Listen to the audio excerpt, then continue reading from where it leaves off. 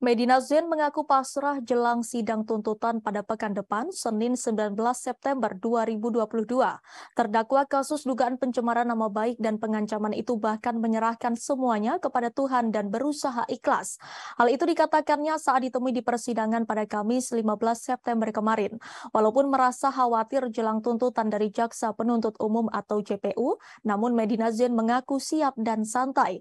Dalam sidangnya kali ini di Pengadilan Negeri Jakarta Selatan, Medina Zain menerima dengan lapang dada sebab saksi Adet Charles yang dibawa tim kuasa hukumnya ditolak untuk memberikan keterangan di hadapan majelis hakim, di mana saksi tersebut tidak berada di ruang sidang. Untuk diketahui masalah ini berawal dari Medina Zain yang diduga menjual tas branded palsu ke sejumlah figur publik tanah air termasuk Marisha Ica. Merasa tas tersebut tidak orisinil, Marisha Ica meminta agar Medina Zain mengembalikan uang yang telah ditransfernya. Namun Marisha Ica Ica mengeklaim malah mendapatkan dugaan pengancaman dan pencemaran nama baik dari Medina Zain melalui media elektronik.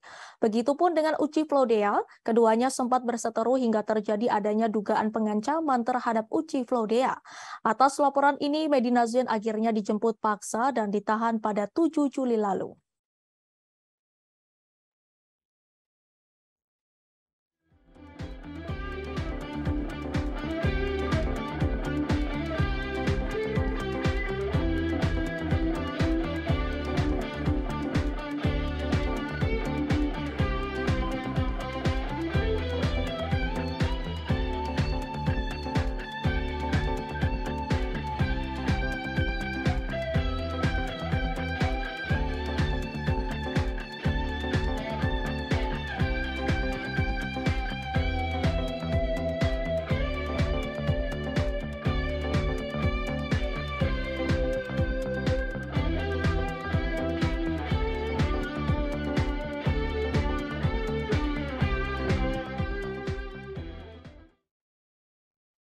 Terima kasih sudah nonton.